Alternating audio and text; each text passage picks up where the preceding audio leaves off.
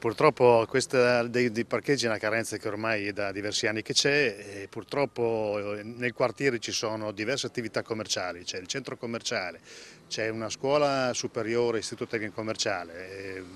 una scuola elementare, due asili, lo stadio qui a poca distanza, l'ospedale, la chiesa e quindi quando c'è al Palazzetto dello Sport qualche manifestazione diventa una situazione ingestibile, parcheggi selvaggi dappertutto, su, sui prati, nella rotatoria, diventa una cosa veramente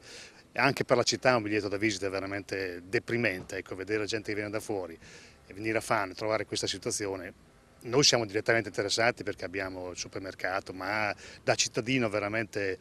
è una cosa che, che fa male al cuore, insomma, vedere una situazione così difficile. Che cosa chiede l'amministrazione comunale? Ma noi abbiamo avuto, abbiamo avuto, degli incontri con un paio di sindaci, quello attuale e anche quello precedente, praticamente di fare dei nuovi posti, posti macchina, di, di, allargare i parcheggi che ci sono qui nelle, nelle vicinanze del centro commerciale, del, del, del, del palazzetto dello sport, cioè, ci hanno sempre risposto bisogna fare una variante, ma io non penso che sia così complicato fare una variante in una situazione che effettivamente necessita di questa variante, insomma i parcheggi sono assolutamente necessari.